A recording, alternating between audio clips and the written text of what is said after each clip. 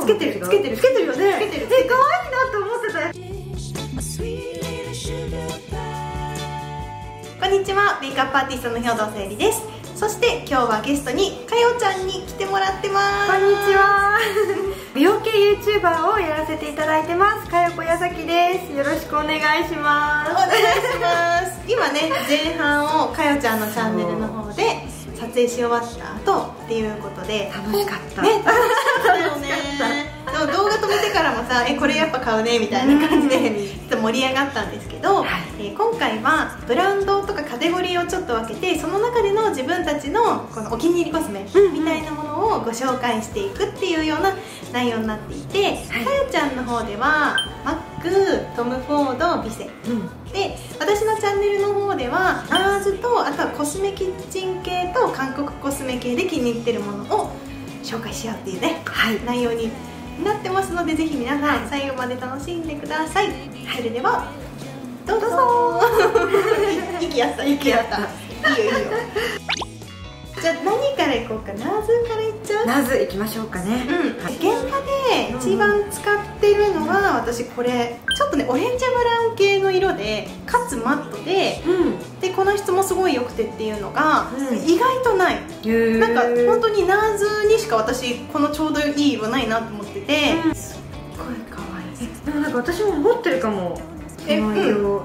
持ってるんじゃ持ってないる気がする。持ってそうだよ。なんか持ってそうだよ なんか2色セレクトしてさパタッなのパキってできるじゃん、うんうんうん。それの1色な気がする。持ってそうなんだけど。うん。可愛い。赤レンガかわでちなみにそれこれに合わせて使うのが好きなの。知らないその色。可愛い。好きそう。もしかしてこれ今日つけてる？今日つけてる？つけてる。つけてるよね。つけてるえ可愛いなって思ってたやつだ。それ多分青ラメそうそうちょっと青らめで登場頻度が高い？私今目元で使ってます。うんめっちゃ可愛いの今日のメイク超可愛い。やっぱブルーのラメって、うん。なんかこうやっぱさりげなくふと喋ってる時とかにこうチラチラって見えるとめちゃくちゃ上品で可愛いですよね、可愛い透明感って感じで、ね透明感。だからまあどっちも好きで持ってきました。でも本当に後で聞こうと思ってたんですよ。本当そうちゃんと使ってきました。やったーありがとうございます。そしたらちょっとかよちゃんのはい、おすすめももうめっちゃ悩んだんですけど、うん。えちょっと限定なんですけど、うん。知ってる人いるんじゃないかな。 NARS Most Wanted アイシャドウパレットっていうパレットですすっごいね全色可愛いの。可愛い。最高ですよね。可愛いそうねこれは結構最高で、うん。買ってからもうずっと使ってる。うん。なんかこう結構限定のものとかってあのその時結構ブームがガッてきて、うん。で意外となんかあこんなの持ってたかって、うん。ちょっと時間が空いてから気づくみたいなうん。こともあるんですけどただ定番にしてほしいっていうぐらいの色が、あまたどうぞどうぞ。大丈夫？ヤクルトかな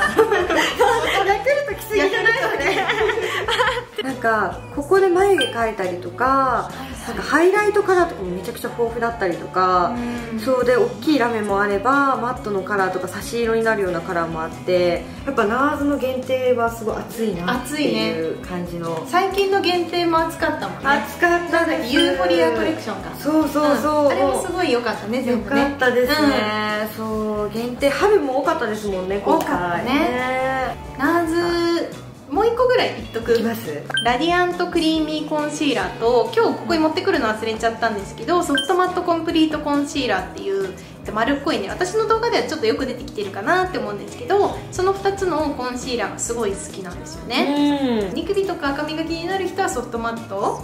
で目の下とかそういうところ隠したい人はラディアントクリーミーコンシーラーとか、うん。すごいいいと思います。カバー力も適度にあってうん伸びも良くて、うん。うんナーズのベースすごい好きだけどコンシーラー系は特にいいうんって感じで。確かに。パキパキしないしね。ね。いいですよね。ね。うん、私も好きです、うん。でもう一個私も。あそれね。これいいですよ。これ。それね。これはもうみんな持ってると思うんですけど そうもうこのクッションに出会って、うん。他のクッションの出番がすごい減っちゃったなってうん。思うぐらい、私の肌にはすごいもうベストすぎて、うん。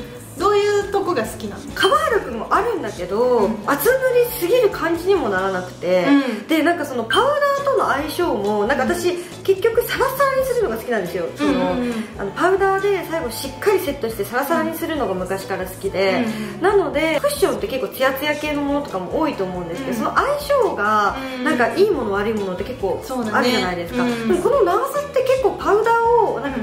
っつりサラサラにのせてもムラになっちゃったりとかしないからなんかすごくこう合わせやすくて、うん。今のマスクの生活でもすごいこの出番が多いクッションだなっていう、はい、四角のパッケージが結構特徴的だね。そう。こんな感じです。はい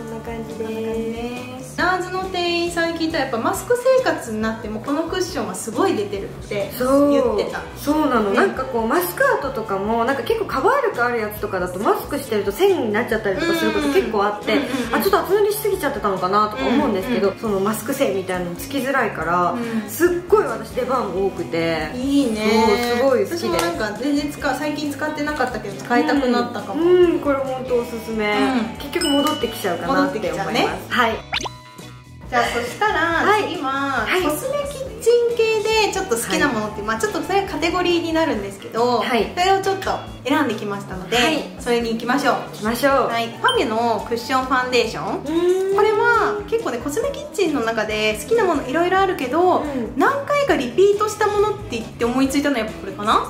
こういう感じでね、こんな感じで普通の、まあ、クッションファンデーションなんですけどね、うん。ウォーターベースのクッションでカバー力はほとんどないかなへえあそう。ちょっと塗ってみます。なんかこういう感じでちょっとねみずみずしいツヤがこう出るような感じ。へえあ本当だ。ここらいい辺の素肌かリ肌って感じそう。なんかリアルな肌をもう一膜塗ったみたいな感じだからうんカバー力を求める人はまあ多分ね物足りないんですけど、例えばこう軽くパと仕上げたい時にこれをパパーって全体に塗ってなんか目の下とかニキビとか気になるとこだけコンシーラーで仕上げるとかっていう風なメイクができるでうん。意外とそういうのってすごい少ないなと思ってこのウォーターベースのねつけた感じとかもなんかちょっとスキンケア感覚のものをクッションで叩き込んでるみたいな感じでうん。結構肌いたわりたい時とかすごい好きだし。ファミ私スキンケアしか使ったことなくて、うんうんでもめっちゃそう導入美容液とかを使ってるんですけど、有名だよね。そうでもすごい気になっちゃいました、うん。それも。気になっちゃうよね。ね。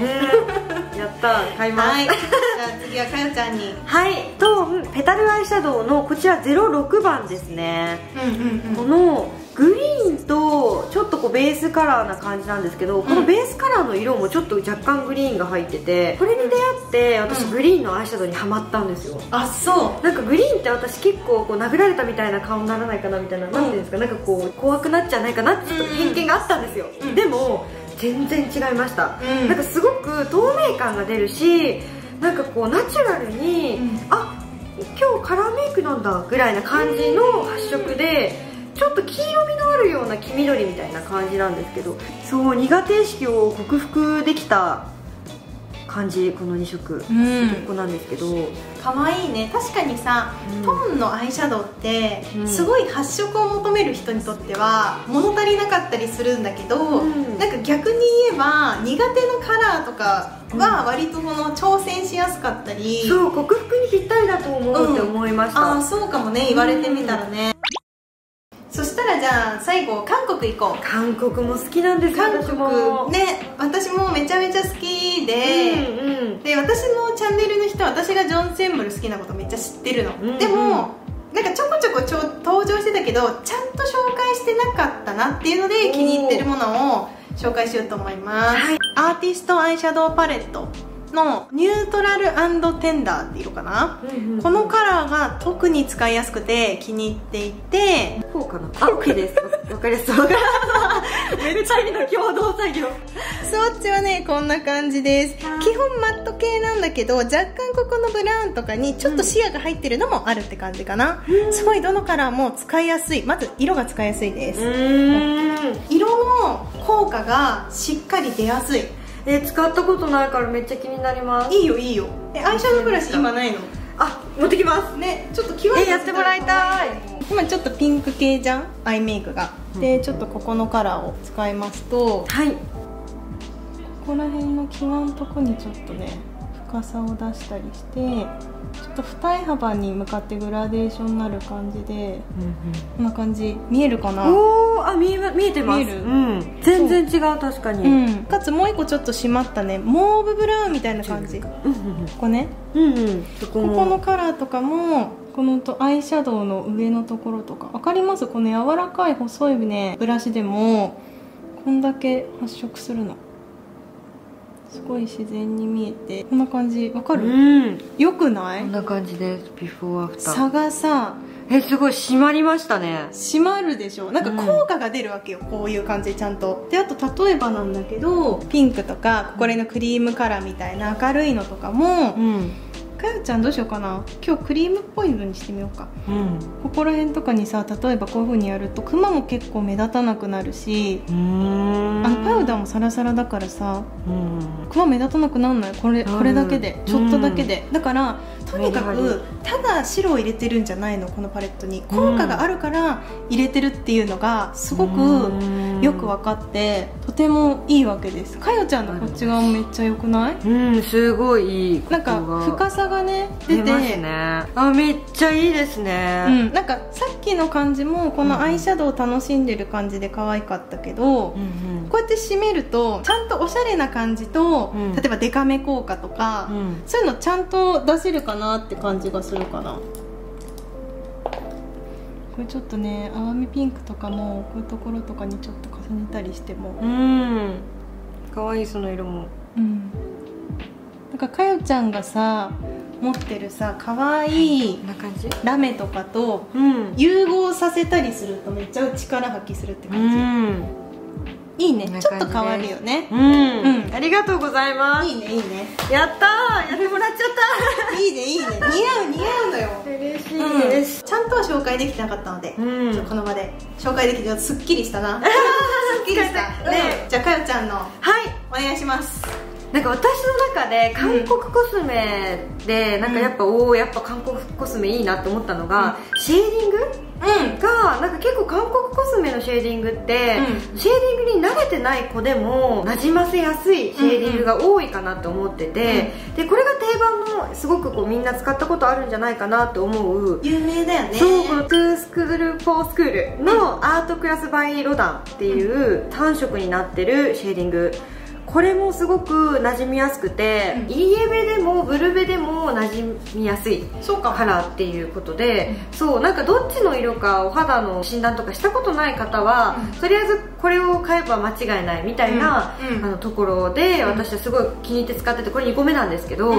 最近またまた出会ってあ、うん。これはこれ見たことないんだけどいいぞって。私。そうこれねリアカインドっていうブランドなんですけどこれもね3色ですごい絶妙なカラーなんですよ。なんだこっちの方が若干イエロー味があってこっちの方が若干もっと標準っぽい気がする。私のそう私の出会ったシェーディングの中でも、うん。えこんなに馴染みやすいことあるっていうぐらい、うん。すごい感動して、うん。結構ね、うん韓国の美容系 YouTuber さんとか、結構これ使ってる方も多くてマジ買うわそうそうそう。買うわそうなんかトゥーフォースクールがダントツで今まで使ってるの多かったかなと思ったんだけど、うん。最近これもすごい磨ける。そうなんだ。そうだからおすすめです。すごい、はい。ちょっとはい。私も買ってみます。はい。はい。